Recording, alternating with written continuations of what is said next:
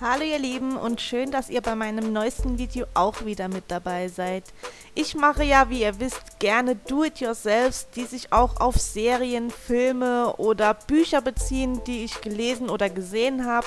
Und als ich die Woche bei Teddy ein bisschen durch die Regale geständert bin, ist mir diese süße kleine Holzkiste in die Hände gefallen.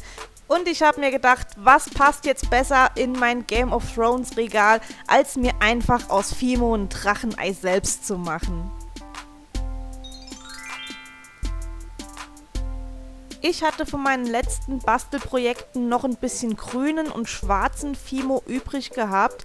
Es ist im Endeffekt ganz egal, welchen Fimo oder welche Farbe vom Fimo ihr für das Drachenei benutzt, weil das Ganze einfach nur innen drin sein wird. Für außen würde ich euch empfehlen, einen Fimo in der Farbe zu nehmen, wie ihr auch später das Drachenei haben wollt, aber für den inneren Kern, sage ich mal, des Dracheneis ist es ganz egal, was für ein Fimo ihr benutzt. Ich habe, wie gesagt, jetzt einfach einen genommen, von dem ich noch Reste hatte und mir gedacht, bevor die jetzt irgendwie antrocknen oder hart werden, benutze ich doch einfach die. Als erstes müsst ihr natürlich ein bisschen Zeit mitbringen, denn das Fimo muss ordentlich durchgeknetet und weich geknetet werden und das dauert eben seine Zeit. Das hier war dann mal so ein Zwischenstand von dem, was ich schon weich geknetet habe und es hat so eine richtig schöne Strukturierung gehabt. Aber die musste ich leider zerstören und das restliche Fimo auch noch mit reinkneten. Und ich muss sagen, am Schluss hatte ich so eine Magenschleimfarbe. Aber im Endeffekt war es ja egal, weil es ja einfach nur der Kern des Dracheneis war. Ich habe mir dann noch ein bisschen was von dem schwarzen Fimo übrig gelassen und habe das auch weich geknetet. Und dann habe ich mir meine große Kugel geschnappt, die dann eben das Drachenei werden soll. Und habe auch versucht, die bisschen eiförmig zu formen, eiförmig zu formen, ja, das ist gut. habe sie eben in meiner Handfläche ein bisschen gerollt, habe auch geschaut, dass nicht zu viele Dellen drin sind, damit das Ei auch wirklich schön gleichmäßig ist. Am unteren Teil habe ich dann das Ganze ein bisschen flach gedrückt, dass falls ich das Ei irgendwann mal hinstellen möchte, dass ich da einfach so ein bisschen eine flache Seite habe und damit es mir auch einfach später im Backofen nicht umkippt. Als ich mit der Form zufrieden war, habe ich das Ei zur Seite gelegt und habe mir meinen schwarzen Fimo geschnappt. Da habe ich immer so kleine Stückchen abgerissen oder mit meinem Cutter abgeschnitten und habe mir da schon mal kleine Kügelchen vorbereitet. Das macht ihr einfach mit dem ganzen restlichen Fimo, das ihr habt. Und hier seht ihr es auch nochmal, das waren so wirklich mini, mini, mini Kügelchen. Die habe ich dann in meiner Handfläche schön platt gedrückt.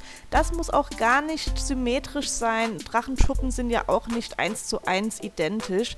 Habe das wie gesagt ein bisschen platt gedrückt, an einer Seite ein bisschen spitzer gemacht und habe das Ganze dann auf der Spitze meines Dracheneis festgemacht.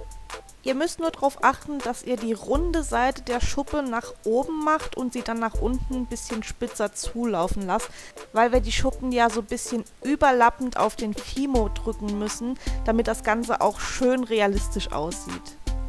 Mit der zweiten Kugel habe ich es dann genauso gemacht, einfach wieder ein bisschen gerollt, flach gedrückt und dann neben meiner anderen Kugel auf der Fimo-Figur oder auf dem Fimo-Ei festgedrückt. Hier seht ihr es auch nochmal. Also das obere Teil des Eis, das muss dann ungefähr so aussehen wie eine Blüte, nur dass ihr nicht die Spitzenenden zusammen macht, sondern quasi die runden Blütenblätter oben zusammenlaufen lasst. Ich hoffe, das ist ungefähr verständlich und ihr wisst, wie ich es gemeint habe, aber man sieht es ja eigentlich auf dem Video auch relativ gut. Das Ganze ist natürlich eine ziemlich aufwendige Arbeit. Hier seht ihr zum Beispiel jetzt mal das Ganze so ungefähr nach der Hälfte. Da habe ich so bestimmt schon 10, 15 Minuten dran gesessen. Also ich sag mal, für das ganze Ei braucht ihr ungefähr so 20 Minuten, um wirklich alle Schuppen schön auf ihren Platz zu positionieren. Je weiter nach unten ihr euch arbeitet, desto mehr müsst ihr auch aufpassen, dass ihr die oberen Schuppen nicht mehr irgendwie festdrückt oder verdrückt. Das ist mir ein paar Mal zwischendurch passiert und da müsst ihr es einfach mit dem Fingernagel oder so nochmal ein bisschen ausbessern, dass die Schuppen einfach ein bisschen schöner abstehen. Ihr könnt sie natürlich auch festdrücken, aber ich persönlich finde es schöner, wenn sie so ein bisschen abstehen. Als ich damit zufrieden war, habe ich mir einen Lidschatten geschnappt. Das hier war jetzt so ein schwarzer mit so Gold-Glitzerpigmenten drin.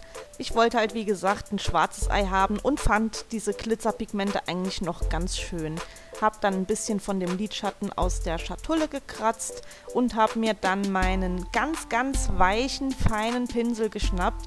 Da müsst ihr auch wirklich aufpassen, dass es so ein weicher Pinsel ist, weil ihr sonst auch euer Fimo wieder ganz schnell verdrücken könnt. Hab das Ganze dann mit dem Lidschattenpulver schön bestrichen, bis wirklich jede Schuppe ganz, ganz toll geglänzt und geglitzert hat.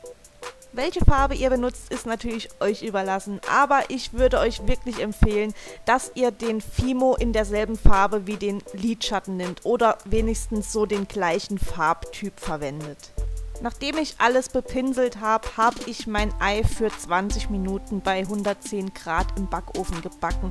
Und schaut mal, wie schön es geglitzert hat. Und dabei war es echt schon dunkel im Raum. Damit das Ei jetzt aber nicht ganz so trostlos im Regal steht, habe ich mir ja wie gesagt bei Teddy noch so eine kleine Holzkiste gekauft. Wenn ihr wollt, könnt ihr natürlich eure Kiste noch mit brauner Acrylfarbe anmalen, aber ich persönlich fand dieses Naturholz ganz schön, vor allem weil es farblich so gut zu meinem Funko Viserion passt.